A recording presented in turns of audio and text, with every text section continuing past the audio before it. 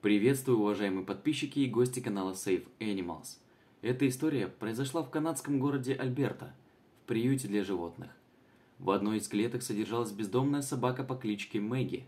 Она недавно ощенилась, но пару недель спустя всех ее щенков разобрали новые хозяева, и собака осталась одна. И вот что она сделала. Приятного просмотра.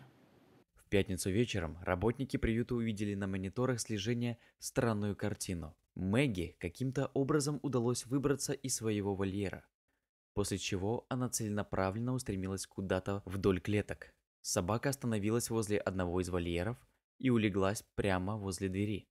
Когда работники отправились проверить, в чем дело, перед их взором предстала умилительная картина.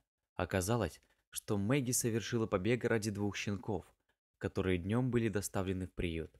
По всей видимости, малышам было страшно, и они начали скулить. Мэгги услышала их плач и поспешила на помощь. Хотя ей удалось выбраться из своей клетки, но вольер к щенкам она проникнуть уже не могла. Поэтому просто легла у самой решетки поближе к малышам, чтобы их успокоить. Увидев эту трогательную картину, мы поняли, что Мэгги нужна этим щенкам, а они нужны ей. Поэтому мы открыли вольер и впустили собаку к деткам.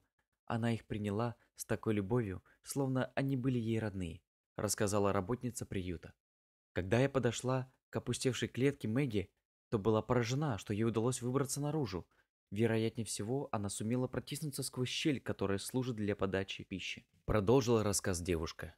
История собаки Мэгги в очередной раз показывает нам огромную силу материнской любви и говорит о том, что чужих детей не бывает. Если тебя растрогал этот необычный случай, то поделись им со своими друзьями.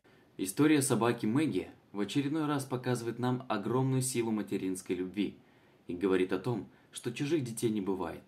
Если тебя растрогал этот необычный случай, то поделись ими со своими друзьями.